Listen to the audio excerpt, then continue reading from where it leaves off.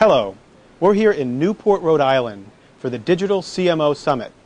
Here at the Hotel Viking are some of the world's leading marketers giving presentations on their challenges and opportunities moving forward. Over the next two days, we're going to interview some of those marketers for Digital 180. Enjoy. Hello, we're here with Michael Rucker from YouTube. He is product marketing manager, and we're going to ask him a few questions, obviously about the industry and video. And uh, tell us a little bit, Michael, about the difference between broadcast video and online video.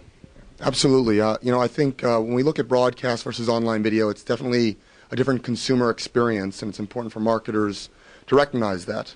Um, obviously, in terms of media consumption, people are still consuming video uh, on television, uh, but we're seeing more and more people going online and consuming that video online. But that experience online is very different. Uh, people talk about it, and it co- sometimes co- becomes a little cliche, but I think it really is true. That lean back experience on television and broadcast versus that lean forward participatory, participatory experience in the online space. Um, and so as users are you know, opting into that viewing experience, engaging with that content, having the ability to rate and comment and forward along, uh, that becomes increasingly important for brands to, be, to look to tap into. Um, so it's definitely a different consumer experience. I think marketers need to understand how to play in that space a little differently.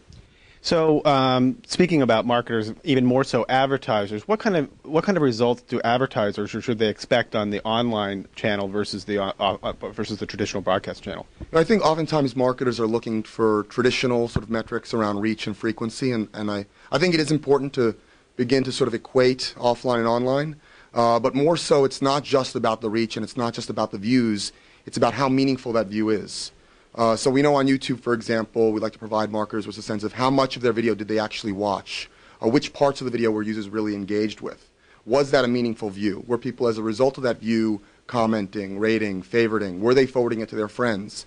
And I think more and more, hopefully, we'll begin to shift to, as a result of that view, what kind of other behaviors were people taking uh, as a result? Were they searching? Were they engaging with additional content? Um, were they seeking out the advertiser's website or, or looking to actually convert in some way? Um, or was there some sort of attitudinal response? Now, you mentioned uh, just a second ago searching. Uh, been hearing a lot more recently about how many people are actually searching on YouTube. So you start to think about that that experience starting to change even more.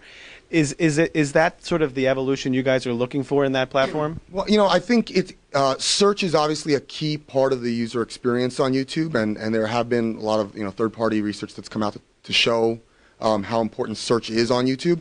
But I think it's, it's not just about search, it's about the discovery experience. So search is one of the ways in which users are discovering video content on YouTube.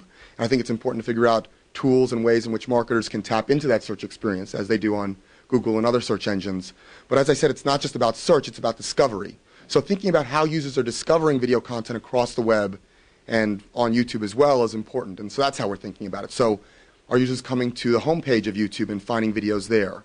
Um, so it's not just about search, it's about the discovery experience. So you, you also just talked about some of the other platforms. So your homepage, the homepage experience on YouTube is obviously different than the homepage experience like on a, a Yahoo or an AOL. Uh, and so that, that is a challenge then for you. Yeah, a little bit. I mean, I think, you know, obviously portals and different properties are looking to provide marketers with a huge amount of reach, especially as we see fragmentation online and media consumption generally. Um, obviously, YouTube has amassed a huge audience, and we think our homepage does a pretty good job of providing marketers with massive reach. Um, but I think at the end of the day, the YouTube users are coming to YouTube to consume video content. And so, unlike other uh, portals and other sites, I think that's really an important part of the site experience, and an important opportunity for marketers to engage with their users. So, obviously, um, it's a great opportunity to get users to consume video, and they're coming there for video, so tapping into that. Um, but I think also uh, when you look at sort of how people are engaging with their insights, we actually work with Compete um, and looking at sort of um, their panel at you know how, who's coming to YouTube and who's coming to these other sites. I think it is interesting that when you look at the other uh, you know MSN and AOL and MySpace, that 40% of the people that are coming to those sites. Um, so let me get the stat right actually. 40% um, of people that come to YouTube actually haven't visited one of those other portal sites on that same day. So for marketers that are looking to achieve reach, yes, there's an opportunity to look to Yahoo, to look to MSN, to look to MySpace, but there's also a huge audience that maybe hasn't visited that site in that day. So I think there's a reach component, but there's also the uh, added value and opportunity of really getting users to consume video content on the YouTube homepage. So, so one last question for you. Um, sort of if it, the crystal ball question. If you look out into the future, you'd say from the advertising standpoint, the best days are still yet to come for YouTube. Then. Oh, absolutely. I think we're just sort of touching the surface, and I think from an industry standpoint, everyone's talking about video, um, but more and more that's going to come to uh, come to bear. I mean, we heard today um, from Canoe Ventures about interactive television. Uh, we're seeing lots of traditional broadcasters and traditional video con- content owners look to play in that online space. And so, I mean, the, the future is bright for online video. So I'm really excited not only for different publishers and properties, but for marketers to begin to continue to tap into it. Great. Well, thanks very much. Enjoy the rest of the event. All right, thank you.